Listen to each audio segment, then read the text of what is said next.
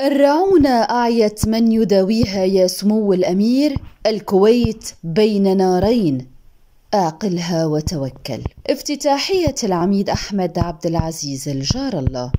الكويتيون بين نارين. حكومة تتخبط ولا تعرف كيف تداوي الجراح التي تسببت بها للبلاد ومجلس أمة لا يحل مشكلة ويرفض تقديم الحل فيما المواطن يرزح تحت أعباء كبيرة وتتقاذفه الهواجس حيال مصيره ماليا ومعيشيا.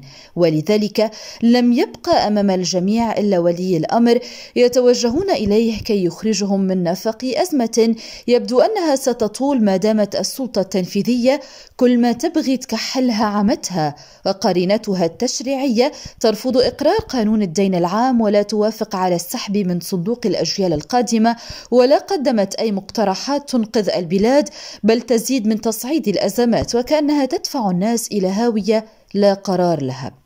فإذا كانت أصغر المشكلات المتعلقة بمكافحة جائحة كورونا كشفت عن تخبط كبير لا يقع فيه إلا من لا يفقه ألف باء الإدارة. فالمسؤولون عن الشأن الصحي تركوا كل الإجراءات المساعدة على الحد من انتشار المرض وتفرغوا لحل قضية أصحاب الفنادق. من خلال قرارهم حجر الكويتي في فندق بدلا من منزله وهذا الإجراء يناقض الدستور إذا كانوا يعلمون. في المقابل الحكومة تمضي في طريق العناد فيما يتعلق بالقضية المالية ولجأت إلى إرسال اقتراح قانون للسحب من صندوق الأجيال القادمة إلى مجلس الأمة المعلق انعقاده مؤقتا وفقا للمادة 106 من الدستور أي تخبط هذا؟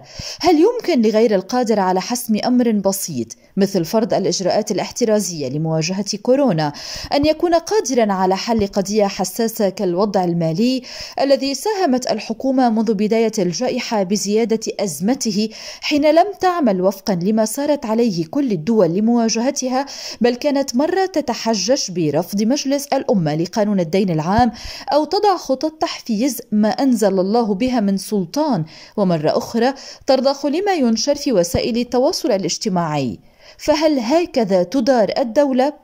منذ سنة والجميع يتحدث عن ضرورة الاستفادة من الفرصة ولو استدعى الأمر صدور سلسلة قوانين بمراسيم ضرورة وتوظيف الاستثمارات في شراء أسهم شركات ومحافظ عقارية وغيرها من الأسواق العالمية ولا نقول الكويتية كي لا يخرج علينا من يقول إنكم تريدون بيع أسهمكم في سوق الكويت المالية وهو كلام العاجزين الذين لا يريدون للبلاد الخروج من مأزق مالي.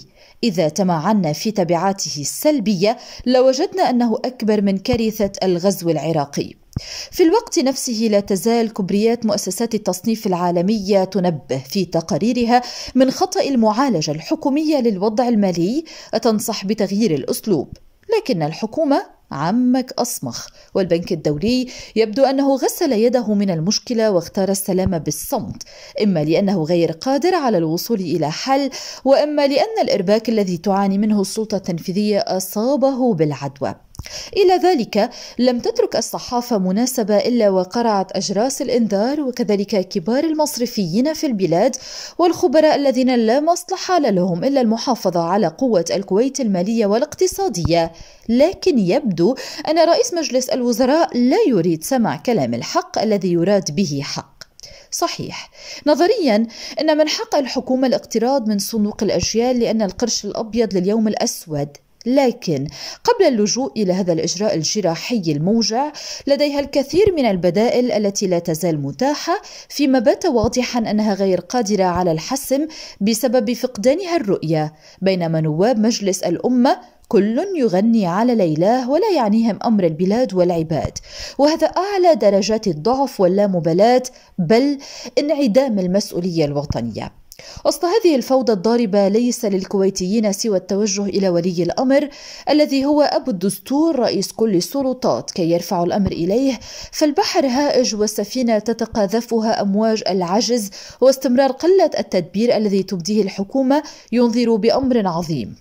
أمام هذه الصورة القاتمة التي أوصلتنا إليها السلطتان التشريعية والتنفيذية يتطلع الكويتيون إليكم يا صاحب السمو كي تخرجوهم من التخبط بأوامر أمرية حازمة.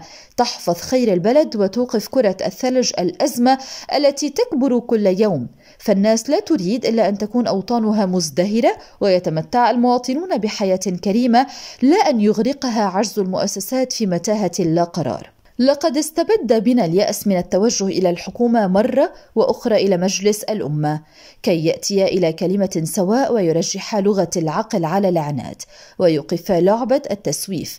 فالكويت أكبر من رئيس مجلس وزراء أو وزير أو نائب ومصيرها ليس لعبة تفحيط أرعن في سكيك. أعقلها يا صاحب السمو بسلسلة مراسيم ضرورة إنقاذية.